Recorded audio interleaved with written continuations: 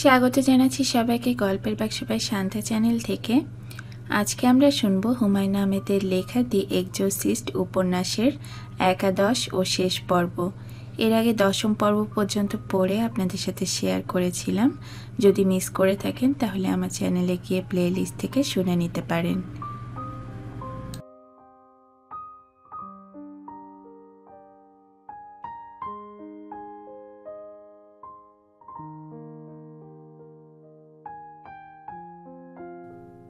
ক্রিসের বাড়িতে যখন কারাজ ঢুকলেন, তখন প্রায় রাত শেষ হয়ে আসছে। শ্যারনের সঙ্গে বসবার ঘরে দেখা। সে বলল সব কিছু আগের মতোই আছে। রেগানের ঘর থেকে জান্তব চিৎকার ভেসে আসছে। কফির সন্ধানে রান্নাঘরে এসে কারাজ দেখেন, রেগানের একটা অ্যালবাম হাতে নিয়ে ক্রিস বসে আছে। তার চোখ দিয়ে অনাবরত পানি পড়ছে। ফাদার, আমি আপনাকে কফি দিচ্ছি। হাত মুখ ধুয়ে আসি। আপনি বসুন। ক্রিস বেরিয়ে গেল। কারাস উকি দিয়ে দেখেন অ্যালবামের যে পৃষ্ঠাটা খোলা, সেখানে রেগানের একটা ভারী সুন্দর ছবি। ছবির পাশে কাঁচা হাতে লেখা একটা কবিতা। ছেলে মানুষই রচনা, কিন্তু কবিতাটা পড়া মাত্র। ফাদার কারাস অন্তরের গভীরতম কোণে প্রচণ্ড ব্যথা অনুভব করলেন। ব্যথা এবং ক্ষোভ। সে ক্ষোভ কুশ্রিতার বিরুদ্ধে, অন্যায়ের বিরুদ্ধে, মৃত্যুর বিরুদ্ধে। তার আর কফির জন্য অপেক্ষা করতে ইচ্ছে হলো না। ক্লান্ত পায়ে রেগানের ঘরে গিয়ে ঢুকলেন। ঢোকার আগ মুহূর্তে শুনলেন, শয়তান টেনে টেনে বলছে, মেরিন, তুই ফিরে আয়, তোর সঙ্গে বোঝাপড়া হয়নি।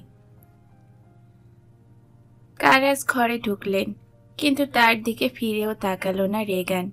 সে তাকিয়ে আছে মেঝের দিকে। কি আছে সেখানে? ফাদার মেরিনি বা কোথায়? কারাসের বুঝতে বেশ সময় লাগল যে ফাদার মেরিন মেঝেতে পড়ে আছেন। তার শরীর বরফ শীতল।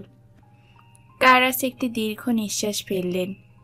তার কপালের শিরাগুলো ফুলে উঠতে লাগল, কিন্তু তিনি আবেগ শূন্য ভঙ্গিতেই ফাদার মেরিনের হাত দুটো ক্রুশের ভঙ্গিতে রাখলেন। শয়তান হাসতে শুরু করল। খল খল হাসি। ফাদার কারাজের সহজ জ্ঞান বুদ্ধি লোপ পেল। তিনি বিকট স্বরে চেঁচিয়ে উঠলেন, আহ পিসাজ আ শয়তান! খল খল হাসি থেমে গেল। রেগান কেমন অদ্ভুত ভঙ্গিতে তাকাচ্ছে এখন। ও হে কারাস তুমি কি বুঝতে পারছ? তুমি হেরে যাচ্ছ। বলেই হা হা করে হাসল। চুপ, শয়তান, চুপ। ক্রিস আর শ্যারন কফির কাপ হাতে বসেছিল। তারা ফাদার কারাসের প্রচণ্ড চিৎকার শুনতে পাচ্ছিল। ক্রিস শুনল, কারাস বললেন, চুপ, শয়তান, চুপ। তারপর শয়তানটা কিছু একটা বলল। এরপর আবার চেঁচিয়ে উঠলেন কারাস, না, আমি তোকে নিকেশ না করে ছাড়ব না। তুই আর কারোর ক্ষতি কোনোদিন করতে পারবি না। ঠিক তার দু এক সেকেন্ডের মধ্যে রেগানের ঘরের জানালাটা ভেঙে গুঁড়ো গুঁড়ো হয়ে পড়ল। কোনো ভারী জিনিস কেউ ছুঁড়ে ফেলল নিচে। ক্রিস আর শ্যারন ছুটে গেল দোতলায়। ফাদার কারাসের দেহটা চিত হয়ে পড়ে আছে এন স্ট্রিটের মাঝামাঝি। তার চারপাশে লোকজন জমতে শুরু করেছে। অ্যাম্বুলেন্সের জন্য ছোটাছুটি হচ্ছে। ক্রিস চেঁচিয়ে উঠল, শ্যারন, আমি বুঝতে পারছি না কি হচ্ছে। ফাদার কারাস কি মারা যাচ্ছেন? শ্যারন হাঁটু গেড়ে ফাদার মেরিনের মাথার পাশে বসল আর ঠিক তখনই মিষ্টি গলার রেগান ডাকল, কি হচ্ছে এসব মা? এরকম করছ কেন তোমরা? আমার বড় ভয় লাগছে। এ কি সত্যি সত্যি রেগান ক্রিস অবাক হয়ে দেখল। দড়ি দিয়ে বাঁধা মেয়েটা অবাক হয়ে তাকাচ্ছে তার মুখের দিকে। ভয় পাওয়া বড় বড় ঘন কালো চোখ। ক্রিস ছুটে গেল মেয়ের দিকে। প্রচণ্ড ভিড় জমেছে ফাদার কারাসের চারপাশে। ভিড় ঠেলে যিনি অগ্রসর হতে চাচ্ছেন, তিনি ফাদার ডায়ার। শ্যারন তাকে খবর দিয়েছে। তিনি ফাদার কারাসের মাথার পাশে দাঁড়ালেন। এখনও প্রাণ আছে। তিনি প্রতিটি শব্দ অত্যন্ত স্পষ্ট স্বরে উচ্চারণ করে বললেন, ফাদার কারাস, আপনি আমার কথা বুঝতে পারছেন। কারাস মাথা নাড়লেন। তিনি বুঝতে পারছেন। ফাদার ডায়ার তার মাথা কোলে তুলে নিলেন। শান্ত স্বরে বললেন, আপনি কি ঈশ্বরের কাছে শেষবারের মতো ক্ষমা ভিক্ষা করতে চান? কারাস মাথা নাড়লেন। তিনি চান, আপনি কি আপনার সমস্ত পাপের জন্য ঈশ্বরের কাছে ক্ষমা প্রার্থনা করেছেন?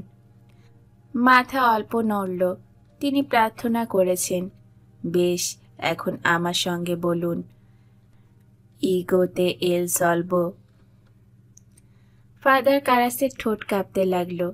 তার চোখ দিয়ে এক ফোঁটা পানি বেরিয়ে এলো। তিনি কি যেন বলতে চাইলেন পারলেন না।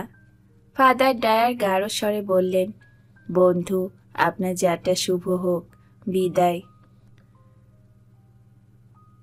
ফাদার কারাস ও ফাদার মেরিনের মৃত্যু দু সপ্তাহ পর ডিটেকটিভ কিন্ডারম্যান তার রিপোর্ট পেশ করল। সেই রিপোর্টে বার্ক টেনিংসের মৃত্যুকে বলা হলো একটি শোচনীয় দুর্ঘটনা। কিন্ডারম্যানের ভাষায় যাবতীয় প্রমাণ বিশ্লেষণপূর্বক এই সিদ্ধান্তে আসা হইয়াছে। কিন্ডারম্যান দ্বিতীয় কেসটা নিয়ে চিন্তাভাবনা শুরু করেছে। রেগান ফাদার কারাসকে ছুঁড়ে ফেলেনি, কারণ সে বাধা ছিল। ফাদার কারাস যে কিছু একটা দেখে ভয় পেয়ে লাফিয়ে পড়েছেন, তাও বিশ্বাসযোগ্য নয়, কারণ দরজা খোলা ছিল। সেই দরজা দিয়ে তিনি সহজেই বেরোতে পারতেন। একটি সম্ভাবনা আছে। ফাদার মেরিনের মৃত্যু দেখে তিনি মানসিক ভারসাম্য হারিয়ে ফেলেছিলেন। কিন্ডারম্যান ভাবে ভ্রু কুঞ্চিত করে ভাবে। ক্রিস তার এই বাড়িটি বিক্রি করে দিয়েছে। সে ফিরে যাচ্ছে তার স্বামীর কাছে। হাওয়ার্ড নিতে এসেছে সবাইকে। ওদের হাসি খুশি মুখ দেখে এখন বিশ্বাসই হয় না যে কি প্রচণ্ড দুঃস্বপ্নের দিন গিয়েছে। ওরা প্রথমে যাবে লস অ্যাঞ্জেলসে। প্লেন ছাড়ার খুব একটা দেরি নেই। কিন্তু রেগানের জিনিসপত্র এখনও গোছানো হয়নি। ক্রিস তাড়া দিতে গিয়ে দেখে, সমস্ত বিছানাময় অসংখ্য জিনিসপত্র ছড়ানো। মাঝখানে রেগান মুখ কালো করে বসে আছে। মা, এই সুটকেসে তো সব ধরছে না। যেগুলো ধরছে না সেগুলো কাল নিয়ে আসবে। এখন থাক। ঠিক আছে, মা। অত্যন্ত ব্যস্ততার সঙ্গে ফাদার ডায়ার এলেন বিদায় জানাতে। ক্রিস হাসি মুখে বলল, আপনি না এলে আমি নিজেই যেতাম, ফাদার। বসুন। এই ব্যস্ততার মধ্যে আমি আর বিরক্ত করব না। না, ফাদার, আপনাকে আমাদের সঙ্গে এক কাপ কফি খেতেই হবে। আসুন। কফি পান নিঃশব্দে হলো। ক্রিস একসময় বলল, আপনাকে একটা কথা জিজ্ঞেস করব, ফাদার। করুন। আমি শুনেছি ফাদার কারাস নাস্তিক ছিলেন। এটা কি সত্যি? কিছুটা ছিলেন। আমার কিন্তু তা মনে হয় না, ফাদার। আমার মনে হয় তার মতো বড় ঈশ্বর বিশ্বাসী ব্যক্তি আর কেউ নেই। বলতে বলতে ক্রিস রুমাল দিয়ে চোখ ঢাকল। ক্রিসের কাছ থেকে বিদায় নিয়ে ফাদার ডায়ার এম স্ট্রিটের মাথায় এসে দেখেন কিন্ডারম্যান দাঁড়িয়ে আছে। সে সম্ভবত তার জন্যই অপেক্ষা করছিল। তাকে দেখে দ্রুত এগিয়ে এলো কাছে। ফাদার ডায়ার, বলুন, আপনি কি ওদের বিদায় জানাতে গিয়েছিলেন? হুম, ছোট মেয়েটা এখন ভালো আছে। হ্যাঁ খুব খুশি হলাম, খুবই আনন্দের কথা। হ্যাঁ খুব আনন্দের কথা। আচ্ছা ফাদার, আপনি কি সিনেমা দেখেন? মাঝে মাঝে দেখি। আপনি কি একদিন আমার সঙ্গে দেখবেন? ওথেলো হচ্ছে খুব ভালো ছবি। ফাদার ডায়ার মৃদু হাসলেন। অনেকদিন আগে ডেমিয়েন কারাস ঠিক যেভাবে হাত রেখেছিলেন, ঠিক একইভাবে কিন্ডারম্যানের ঘাড়ে হাত রেখে নরম স্বরে বললেন, দেখব, একদিন নিশ্চয়ই দেখব।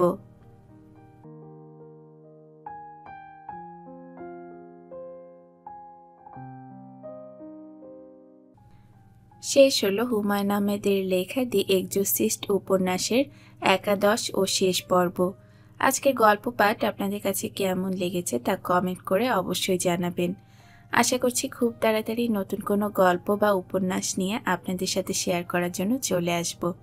সবাইকে টাটা জানিয়ে এই পর্যন্তই শেষ করছি।